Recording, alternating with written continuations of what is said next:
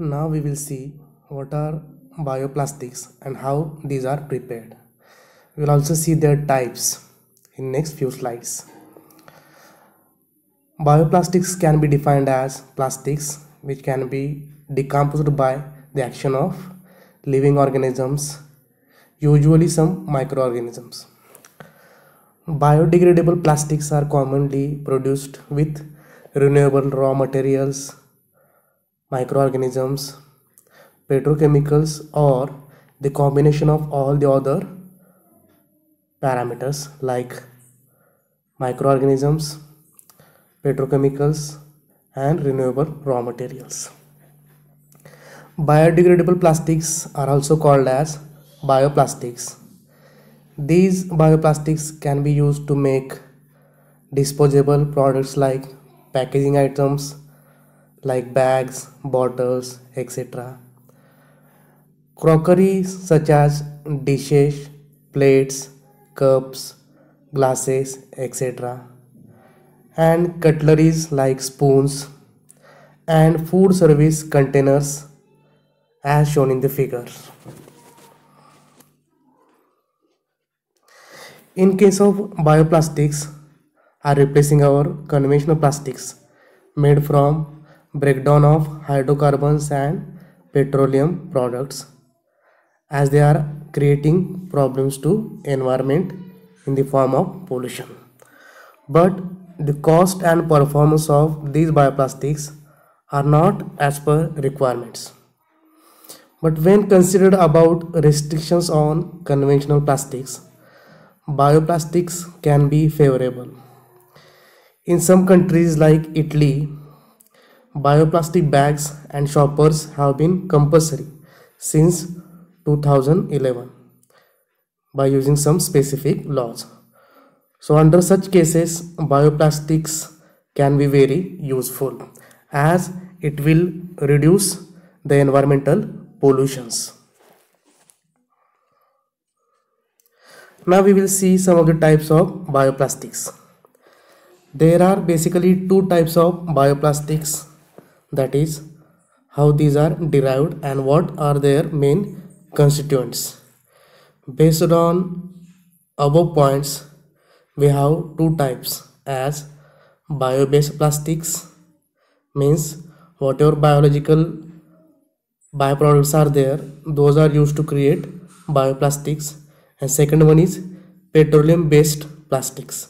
That is it will be having some petroleum base so bioplastics are directly derived from renewable biomass like plants starch animals etc and the petroleum based plastics are derived from Petrochemicals obtained from fossil fuels, crude oils, coal or natural gas. Among the bio-based plastics, there are few plastics like first one we will see polylactic acid. The polylactic acid is also called as PLA which is a thermoplastic polymer derived from renewable biomass typically from fermented plants starch such as corn, sugarcane or sugar beet pulp. PLA is a compostable but not a biodegradable plastic according to the American and European standards because it does not biodegrade outside of artificial composting conditions so we'll study what you mean by compostable and what you mean by biodegradable. Compostable means that a product is capable of disintegrating into its natural elements in a composting environment which requires some conditions to be maintained whereas a biodegradation takes place naturally. So this is the basic difference between compostable and biodegradation. So next type is starch blends. This is also a biodegradable plastic and the starch blends are thermoplastic polymers which are obtained by starch with plasticizers. Blending is nothing but a process of mixing together thoroughly. And also we have studied that plasticizers are additives. Those are added to increase the plasticity of a starch as a polymers are having brittle in nature at the room temperature. Means the starch is a brittle in nature at room temperature. So to change the plasticity of this brittle starch plasticizers are added. As we know that all plasticizers are not biodegradable that's why whatever the starch blends are there those are also not all biodegradable. Then what are biodegradable starch blends? Generally those include starch and PLA we already studied. PLA means polylactic acid. So a blend of starch and polylactic acid is a biodegradable plastic similarly starch and polycaprolactone is also a blend which is poly uh, plastic which is biodegradable.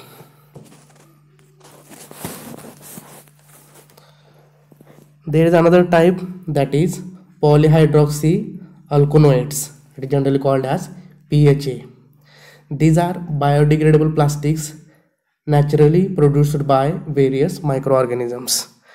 These are obtained from microorganisms. Those are recovered by rupturing the microorganisms.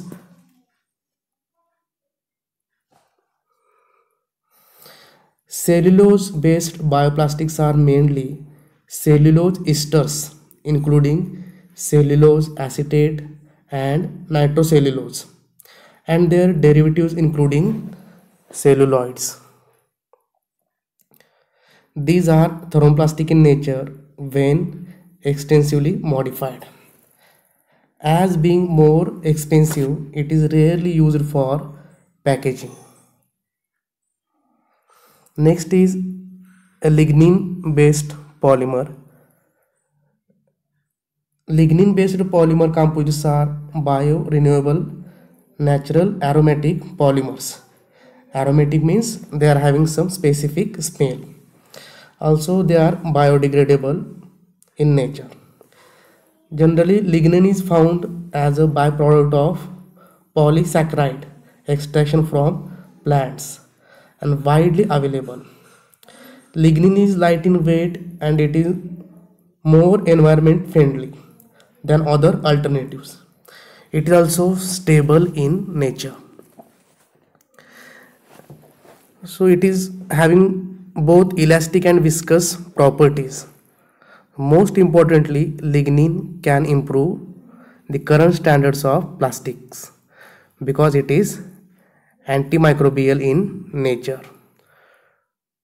So it is being produced at such great quantities and readily available for the use as an emerging environmentally friendly polymer. Those are lignin based polymers. Now we'll see some petroleum based plastics. As previously stated these are derived from petrochemicals which are obtained from fossil fuels crude oils coal or natural gas. Most of the petroleum based plastics like polythene poly polyethylene polypropylene are not biodegradable however Following are some of the types of plastics which are biodegradable under the heading of petroleum based plastics.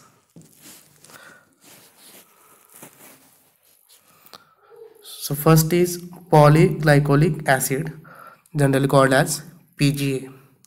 It is a thermoplastic material which is used in medical applications and it is biodegradable. Second is polybutylene succinate that is called as PBS. It is also a thermoplast material with properties similar to propylene. It is used in packaging for foods, cosmetics, etc.